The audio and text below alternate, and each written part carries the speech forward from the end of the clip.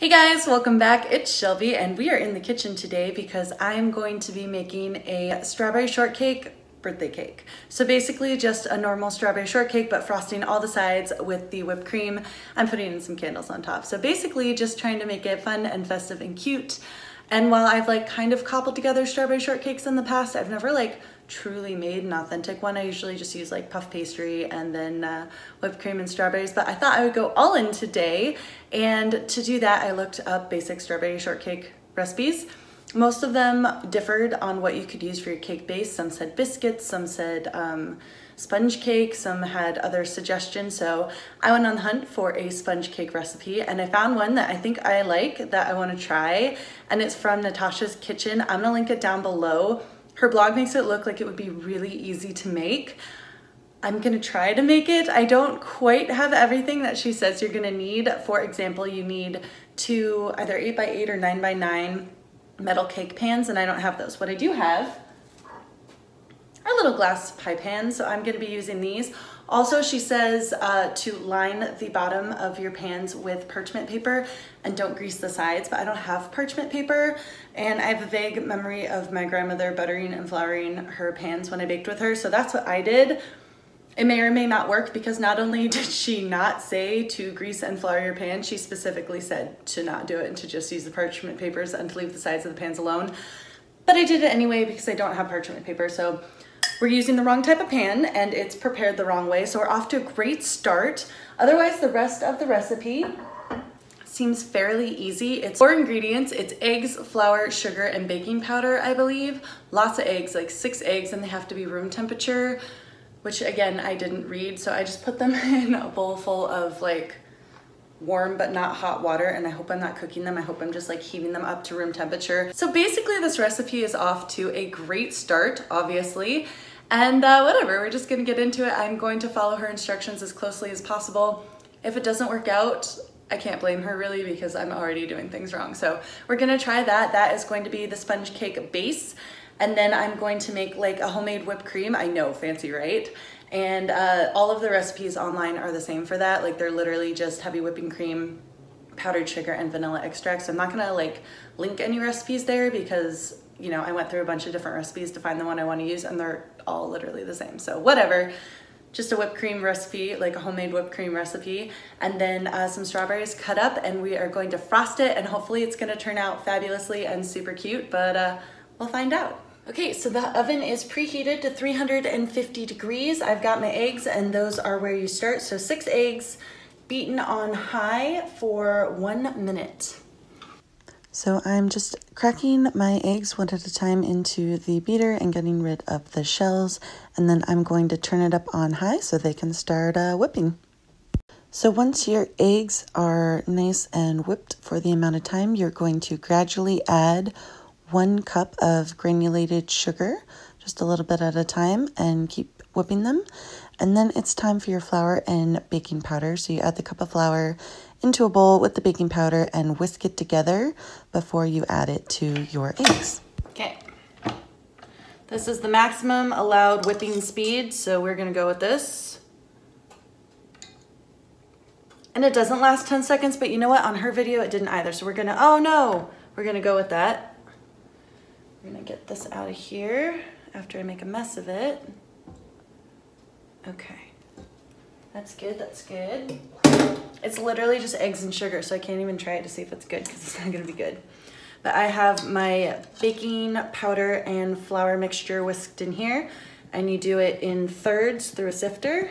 So I'm just gonna pour about third of it in, sift it in like she does, like a real baking pro right here, and then fold it in with hopefully more luck than the good fairies had for Aurora's birthday. Here we go. Making sure to scrape the bottom of the pans, as she said.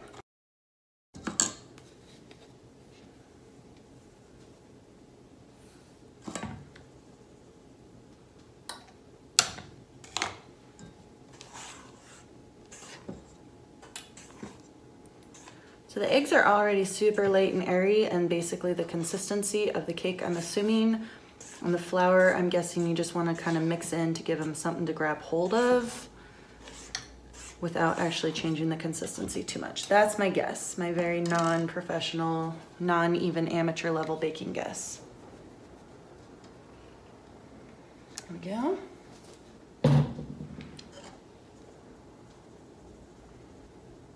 It is pretty to sift things though.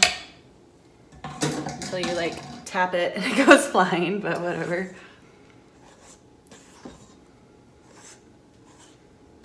So she says after you fold it in, you should put it in the oven right away. Don't let it sit. So I'm going to do some scrapes. She says scrape the bottom.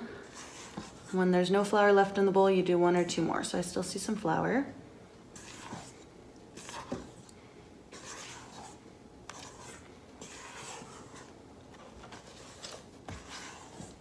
But it's getting close. So she says two to three more after you see no flour. I see no flour, so one, two, three. I think that's it.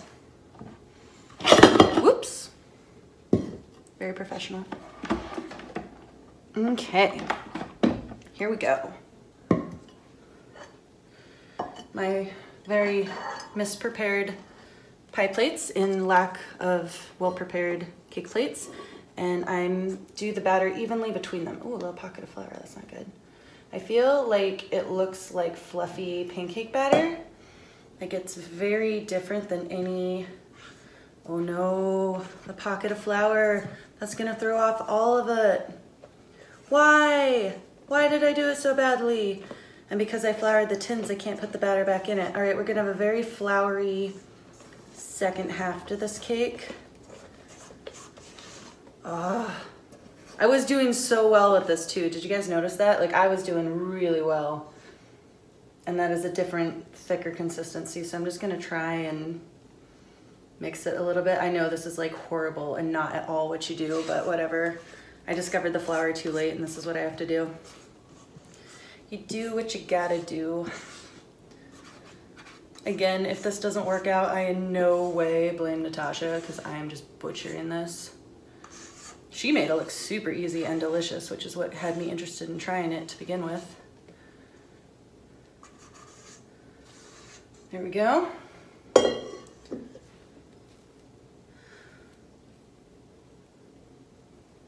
Those look about even. So now they go into the oven, 350 degrees on the center rack, I'm pretty sure 23 to 28 minutes. So while that's cooking, I'm going to clean up first of all and then get the strawberries out chopped and with some sugar added to them just in a bowl back in the fridge so that I don't have to do that later because chopping strawberries always takes longer than you think it will. Second, or I guess third off on the list, uh, is that I just wanted to mention that when I preheated the oven, I also moved the rack down to the center because you're supposed to bake it in the center of the oven. And for once, I read the instructions beforehand and prepared. So um, given how messed up this cake recipe is already turning out, I want bonus points for, for following directions on that one. Anyway, the cakes are baking for 23 to 28 minutes and um, yeah, now let's chop some strawberries and prep the rest of the ingredients. So how I like to do it is to slice up your strawberries, add a layer of those, and then sprinkle some sugar on top.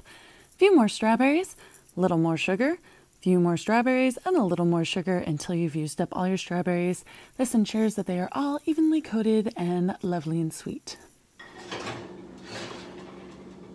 Wow. Look at that though. That looks gorgeous. I did a good job. All right, we're gonna do a little close up on these. They just came out of the oven. They're still too hot to grab to pull out of the pans. I know I'm supposed to do that pretty quickly. Honestly, I'm already impressed. Like, I don't know what's gonna taste like. There was no flavoring, just like egg, sugar, flour, and baking soda, baking powder? It was baking powder, but um, no vanilla or anything. I am gonna be loading them up with strawberries, so I'm not super worried about the flavor. But they're basically flat on top too. This one's slightly domed. I didn't get them perfectly even in the pans. This one definitely has like a smidge more and it rose more. I think this one ended up with more of the reintroduced flour batter on top. So I think that might be why it's a little denser, but these are quite possibly the most perfect looking cakes I have ever baked. So good news and bad news. This one actually came out of the pan pretty easy when I scraped it with the spatula. This one also fits on the tray, which is the good news. The bad news is, is when I flipped my baking mat over to flip it, the vast majority of the beautiful topping stayed on the mat, but also good news, it lets me eat it and um, that's gonna be covered up with strawberries and cream anyway, so it doesn't matter. Um, and here are the cakes, how they turned out. They're still a little bit warm. This one, I don't feel like it's fair to say sunk at all because I ripped the top of it off. So I also ripped the bottom of it off, putting it on there. So it didn't sink, it's just like, it was flat and then I domed it and it's gonna settle down to lowest point. So I really don't think it sunk. This one didn't sink at all. I mean, I could definitely push my finger through here. It kind of feels like a slightly more dense angel food cake. I don't know, I've never like made a sponge cake before, so I don't know what the consistency is supposed to be. But honestly, I'm really quite happy with these. I'm happy with the way they look and their consistency. Next up, we are making the whipped cream, or maybe I should cut these into layers first. I think I'll cut these into layers first and then make the whipped cream, and then we'll assemble it. So the blog I got the recipe from suggested using a big serrated knife to make the cakes into layers. So I used a bread knife and sawed through them horizontally. They need a little bit of help, but it worked well overall, and they are lovely layers. Figure I'll put the transfer on camera just so you guys can see how it goes. Um, this is a really great top piece, and I think I want the two, because the pie plates, you know, taper in. I think I want the smaller ones in the center the larger ones on the bottom. Since this one is a really nice top, I'll keep that for the top, and I'm attempting this one to transfer. Oh, wow, that worked beautifully. Okay, nice, nice, nice. Takes up my whole little serving tray here, but that's fine. And um, that's, that's not an even cut whatsoever, but whatever, I tried. Um, here's some extra here, we'll just put that right there. Perfect. And uh, yeah, let's start making the filling. So I've got my sugar, I've got my heavy whipping cream. This says it is a quart, so four cups. I wanna make as much as I can, so I'm gonna make the whole thing and just uh, make four times the recipe.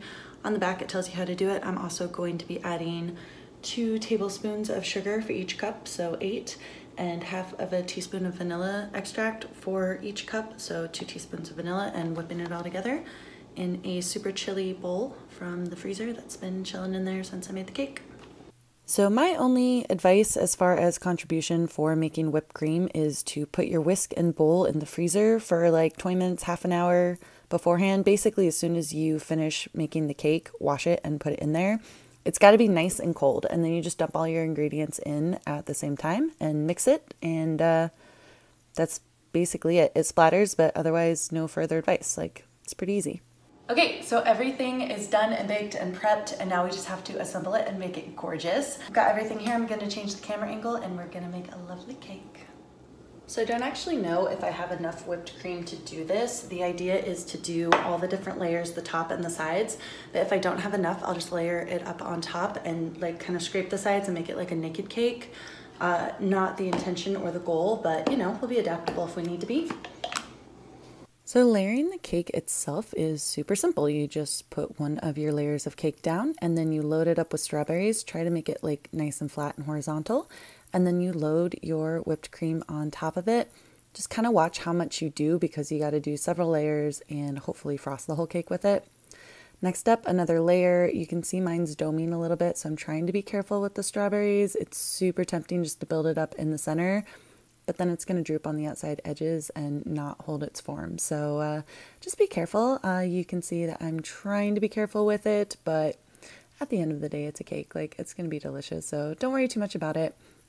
Uh, pour the extra juice in there. This cake actually can take it, which is really nice. Last little bit of cream, and then we are going to top it off and get frosting. So it is actually a lovely kind of squared off cylinder shape, which is great.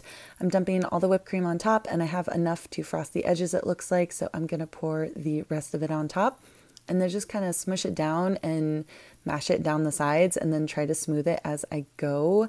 Mainly, I just need to make sure that it's on top and lovely in that way. It makes kind of a mess, but that's okay, honestly. And this cake actually refrigerates really well. So um, just because it is whipped cream, I would either serve it right away or, you know, relatively soon to when you made it and then pop it in the fridge right away.